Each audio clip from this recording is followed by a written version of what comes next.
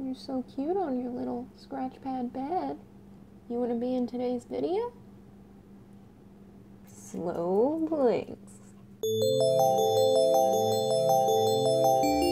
Guys, it's Jasmin, and in today's video, I wanted to tell you about some of the personal observations I've seen by feeding Puppy different varieties of meat in his raw food diet. If you are new to this channel, Puppy is my cat, and we talk a lot here about raw food diets for cats, as well as fitness and nutrition, and health and stress management tips for humans. So if that sounds like it's up your alley, then just make sure to click that subscribe button below below, as well as the little bell icon that's right next to it, because we do put out videos every Caturday. Now, I did do the best I could to get Puppy involved in this video. How are you feeling today?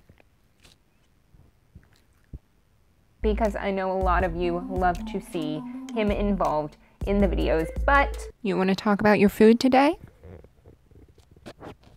it just didn't work out. So today I'm going to talk to you about four different types of raw food blends that I have fed Puppy and what I've noticed in him when feeding him these different kinds of foods. Now keep in mind that all of the different types of mixtures of meats that I'm gonna talk about today do provide the same benefits as the raw food diet in general. And if you're not sure what those benefits are, or if you're new to raw food for cats, then make sure to watch my five benefits of raw food for your cats video, which I will link up in that eye icon right up there or in the description below. So the first variety of raw food I'm going to talk about, or raw meat I'm going to talk about, is what I consider to be the baseline, and that is using chicken thighs. If you've already seen my original how to make raw cat food video, then you've seen that I do use chicken thighs as the main muscle meat in that video. That's also a recipe I suggest as the go-to and a good starter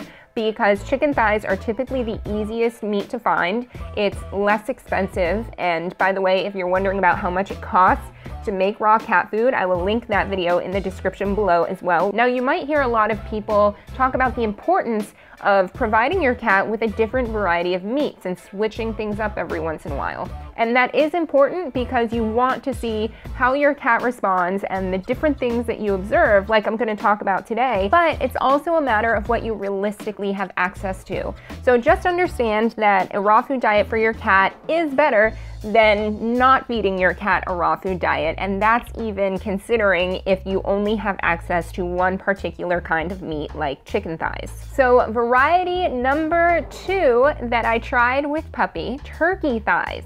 Now, if you've watched my second how to make raw food video where I showed you how to make it without a grinder, I also used turkey thighs in that video and I only used turkey thighs.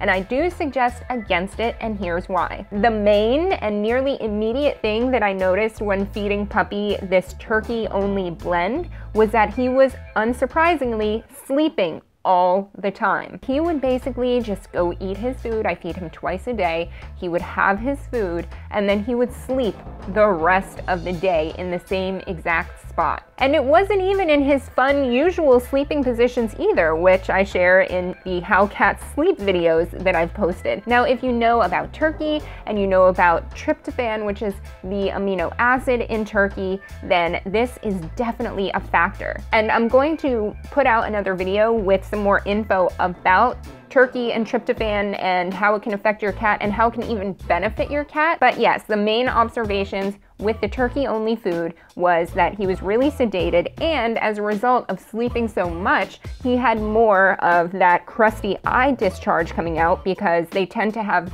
more of that when they sleep more. If The cat discharge in the eyes, it is normal. It can be abnormal only if you notice it's yellow or green and then you definitely want to take your cat to the vet because that could be a sign of an infection. But if you consider your cat's breed or how much your cat is sleeping or if there are allergens in the air or even the type of eyelids that your cat has, having some sort of slightly brown and crusty discharge is normal, so it's not much to worry about, but I did notice that it was pretty excessive when he was eating the turkey diet because he was sleeping all the time. As for the third variety of meat that I have tried with Puppy, this was a half and half mix of chicken thighs and lamb. And the number one thing I have to point out about this that isn't so much an observation in him as it is just in the factor of making it was that lamb is really expensive and especially a good quality lamb. It jacked the price up of his food quite a bit. So in my head, I was thinking, okay, I'm gonna spoil him and get this lamb. Like, I'll try it out, watch him love it, and then I'll be like, oh, I have to buy this all the time because he loves it and he's thriving and he became some kind of like leopard on it. But truth be told, he didn't really seem to like it that much. He just didn't inhale it like he usually does his food. And I also noticed that that eye discharge, even though he wasn't sleeping as much as the turkey food, he still had kind of excessive eye discharge and that's also when I kind of noticed some cat acne coming back, which I will talk about in a separate video. So all in all, when it came to making him food with half lamb and half chicken thighs, it was comparable to just doing the chicken thighs, which was way less expensive and really, when it came to his temperament or his appearance or anything else, there wasn't that big of a difference in his health or anything else like that by doing lamb and chicken thighs versus just chicken thighs. And let me just point out that I'm talking about experience with puppy only. So maybe your cat will react a different way and really thrive off certain meats, whereas this was puppy's experience and reaction to these different kinds of meats. Now on to the fourth blend of meat variety that I have made puppies raw food with. This one, I believe, so far is the holy grail of puppies food mix and I'm going to make a video on how to make this variety coming up next month. So this would be half chicken thighs and half beef. And specifically, I get the London broil cut beef. One, because it's one of the less expensive ones, but it's also really easy to prepare. I actually cut it with a knife into chunks and it cuts really easily because, um, like I mentioned before, I chop his food up now instead of blending it so he gets those chunks to chew on. Basically, with the beef and the chicken mixed together, he really, really thrived. I don't know how else to explain it except he seems more youthful, he's more active, he's more playful, but he's also more affectionate, and it was almost immediate. Not only that, but his eye discharge is almost gone. It's almost non-existent, and it's not like he's sleeping any less. He's still, he's a cat. He naps throughout most of the day.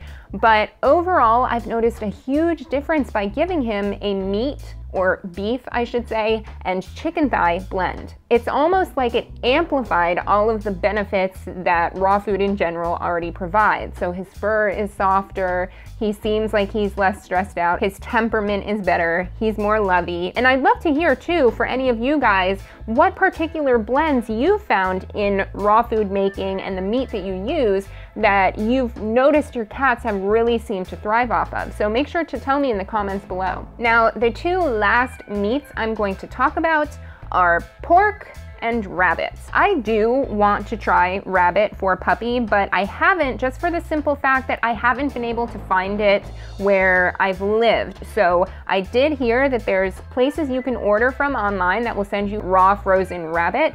Um, if you guys have suggestions of where you think I should reach out to to potentially get that and make you a video on how to prepare that, then please leave it in the comments below because I would love to try that and then show you guys how to do it. When it comes to pork or pig, something about it just tells me that that's not an ideal food for puppy to eat. And if you research and look up some things, a lot of people feel as though pork is not the ideal food to use in raw cat food. There are bad bacteria that are potential in any kind of raw meat you use, but it seems to be a little more prevalent in pork. All right, guys, those are the different varieties of mixtures of meat that I have fed Puppy thus far in his raw food diet journey. Please remember to click that thumbs up below if you liked this video or found it interesting or helpful, and also to click that subscribe button if you would like to learn more each week. Thank you guys so much for watching and for being a part of the Cat Lady Fitness channel. We appreciate you so much and hope that you are enjoying the content that we are sharing with you.